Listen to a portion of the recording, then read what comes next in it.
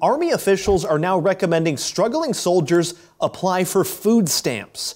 The new official guidance says this, quote, with inflation affecting everything from gas prices to groceries to rent, some soldiers and their families are finding it harder to get by on the budgets they've set and used before. It continues like this, quote, SNAP is a U.S. government program that provides benefits to eligible low-income individuals and families. Service members and their families may be eligible.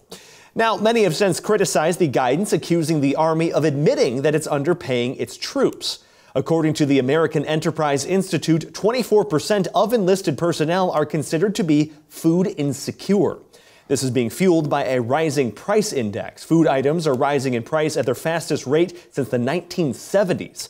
And as a result of these skyrocketing prices, a Harvard study recently found that many Americans are now selecting pay later options, such as credit cards, for even basic goods such as groceries. Visit fism.tv slash news for more content.